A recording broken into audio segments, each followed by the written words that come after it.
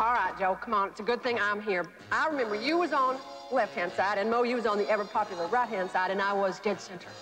Sissy, your center was never dead. All right, now, come on. Let's follow these bounceless moves. Let's be serious. I'm Madam Chairman. All right. Sincerely. Oh, yes, sincerely. Stella Major. Ah, I wanted to take just thinking about it. 20 years ago tonight, my God, it just seems just like yesterday when that fatal crash took away his life. You look just fabulous. Thank you. Them boobs of yours, it's a kill for them boobs. Now, is that a tree branch in his hand or what?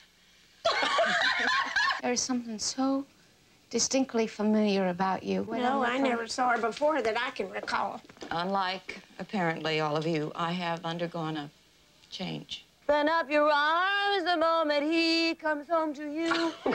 You're just one of them perverts. That's what you are. I managed to rise above the attitudes of this town while you laid spread over a gravestone and took them inside you. well, three cheers for Mona Magdalene. Well, everybody, here I am. Oh, what happened to that fancy party dress you drug all the way out here? Let's just say that I know, all right? And leave it at that. Why don't we not say that, huh?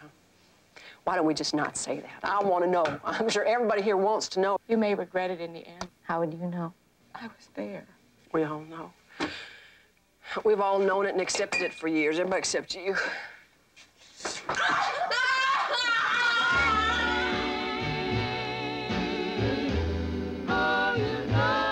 Come back to the Five and Dime, Jimmy Dean, Jimmy Dean.